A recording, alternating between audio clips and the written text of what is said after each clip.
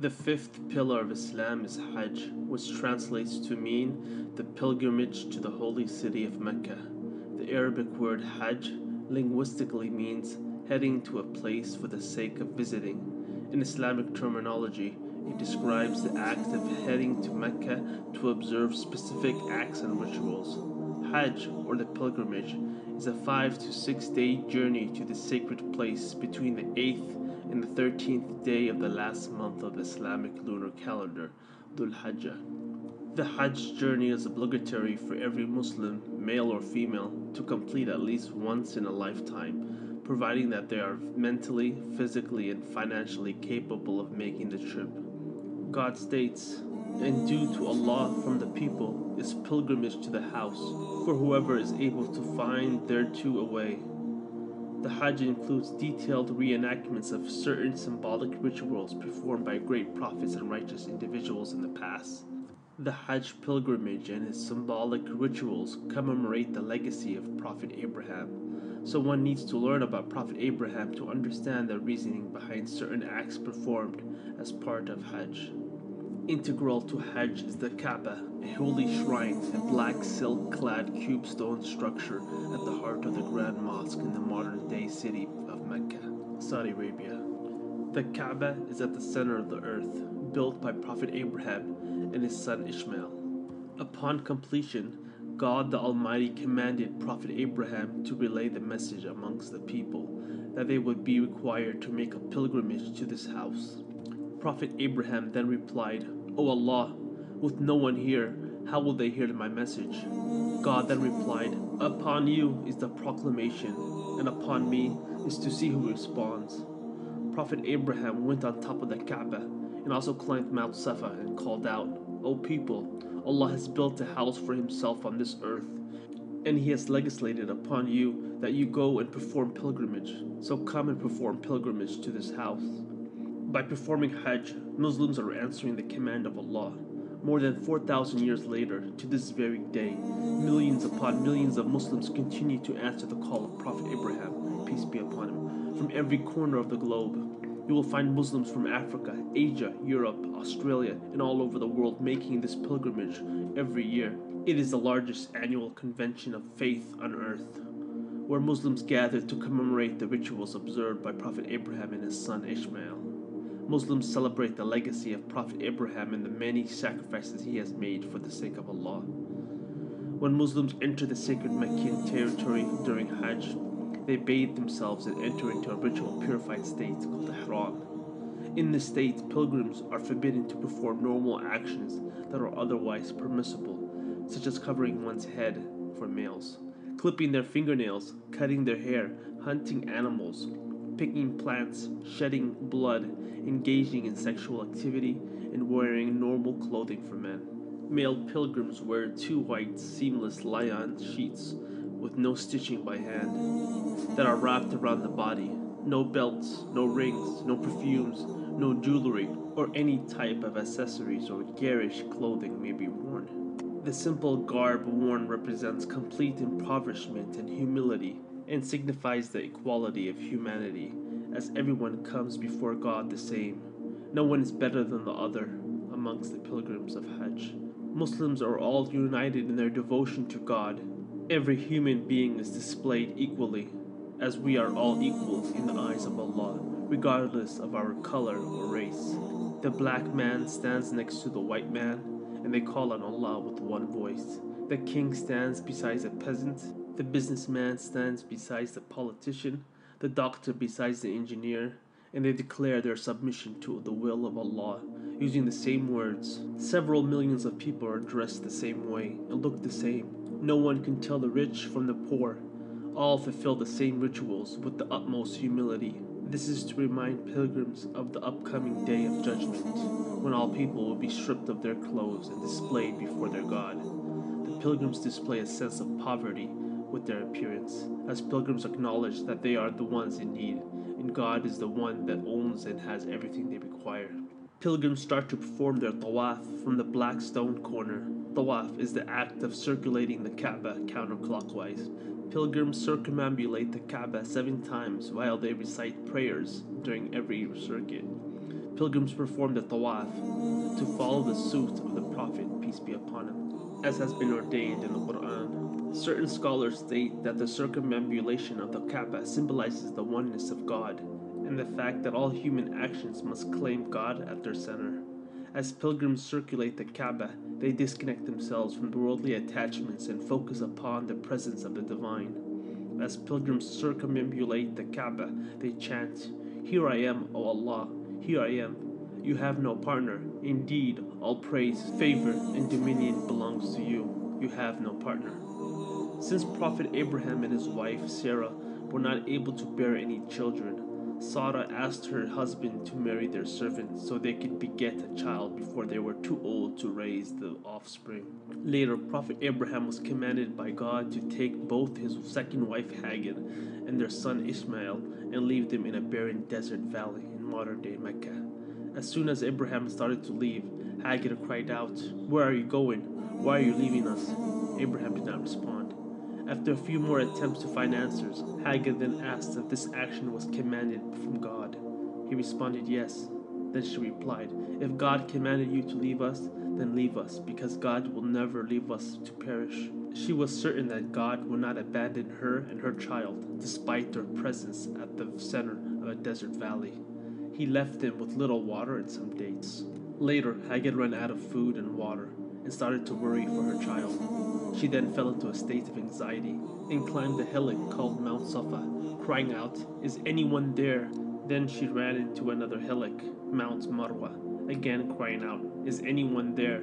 Then she commenced pacing back and forth to each mountain seven times. On the seventh round, Hagar saw Angel Gabriel descend from the sky and strike the ground with his wing, causing water to gush upward from the ground. Angel Gabriel declared Zemzem, meaning stop, stop, commanding the water to stop. This water is now referred to as Zemzem water. This well till today nourishes pilgrims of Mecca every day. Hagar and her child, for their part, were rescued by passerby. Years later, when Ishmael was growing to become a man, his father, Prophet Abraham, returned and built with him the house in Mecca called the Kaaba. In commemoration of this great sacrifice from Hagar, Muslim pilgrims in Hajj progress in a quicker pace going back and forth between the two hillocks, which are 300 to 400 yards apart, seven times, reenacting Hagar's movements when attempting to find aid. This action is symbolic of Hagar's search for water and the miracle of the well of Zamzam. Then the pilgrims depart Mecca toward the valley of Mina, which is about 3 to 4 miles outside of Mecca. During Hajj season, Mina is full of more than 100,000 air conditioned tents that cover every open space as far as the eye can see, row after row, where pilgrims stay overnight. The tents accommodate roughly 2 to 3 million people before the Hajj. Pilgrims spend their night in prayer, worship, and meditation, asking for forgiveness on the night known as Laylat al Tashriq. After spending the night at the village of Mina, Pilgrims take the next step and proceed to a huge plain about 7 to 8 miles from Mecca called Arafah, a huge plain surrounded by bare mountains. Forming the center is a hill known as Mount Mercy, Jabal al Rahmah, where Prophet Muhammad delivered his memorable farewell sermon. This is the center right of the entire Hajj. Pilgrims stand from noon to sunset praying quietly before God, begging for mercy and forgiveness and asking for their wishes. Many pilgrims shed tears as they ask the Almighty to forgive them for their sins in this very emotional day of standing. The process of standing, reflecting, taking account for their actions, and begging and pleading to God is often thought of as a preview and representation of the great assembly of the upcoming day of judgment. It is to remind people of the inevitable day where everyone will stand before their God begging for mercy. Then pilgrims spend the night at Muzdalifah, an open plain about halfway between Arafah and Mina, where pilgrims pray, then go back to Mina. At the age of 95, Prophet Abraham saw himself slaughtering his son in a dream. Interpreting the vision to mean that he needs to slaughter his son for the sake of God, he was to lay his son onto the sand and raise a knife to sacrifice him. Of course, Islam doesn't allow this act. The dream was only a way for God to test Prophet Abraham. But Prophet Abraham didn't know that this was only a test to see who he loved and devoted to the most, his Lord or his son. Ishmael was his only progeny at the time. His son looked at his father and said, If God commanded you to do this, do as you are commanded, as I too am submissive to God. As Prophet Abraham raised his sword, Satan appeared in front of him and stated, That's your only son. What are you doing? How can you kill him? Prophet Abraham, recognizing Satan the cursed, started to pelt him with seven stones until he went away. After that, Abraham moved to another place, where Satan once again returned and was pelted again by Prophet Abraham. Then again, the action was repeated in another place. Satan always tries to separate people from their Lord. Eventually, when Abraham was poised to kill his own son, his son was replaced with a ram sent by God. Prophet Abraham immediately realized that this was only a test from the Almighty. At Mina, pilgrims participate in a ritual called the Rami, which is the throwing of seven stones at three monuments called the Jamarat. Until today, millions of Muslims pass by three monuments and throw pebbles as a ritual, which symbolizes the reenactment of the actions of Prophet Abraham when he was faced with the trial of sacrificing his son. The three monuments or pillars in Mina represent the three places that the devil tempted Prophet Abraham to forego the sacrifice. The throwing of the pebbles is purely symbolic.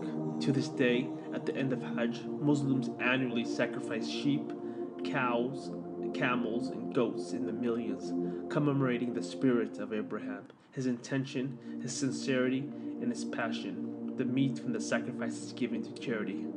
During Hajj, Muslims also kiss a black stone, symbolizing their appreciation of them being invited to the house of the King of all kings, our Lord, our Creator. Muslims also kiss the black stone in tradition of Prophet Muhammad. If they cannot kiss it, they can touch it or point in its direction. This stone was sent down from heaven for Abraham to be used for the construction of the sacred house. The stone was sent down from heaven for Abraham to be used for the construction of the sacred house.